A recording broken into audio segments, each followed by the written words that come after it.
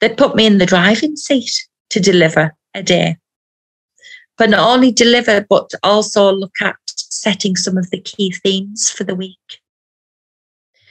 I got to put videos together and put some of my training, so some of my background essentially before I got ill, into delivering a week that would help social workers celebrate their learning um, and grow. So I got to talk about my life and my life story, um, which is a bit complicated, but um, I've had quite a diverse past and pathway to get to where I am now.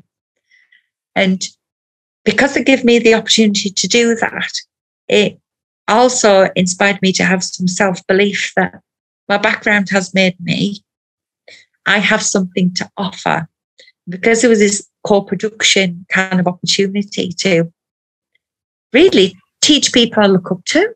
You know, social workers are more trained than I and more, you know, but for me to have something valuable to say was the most rewarding thing for me.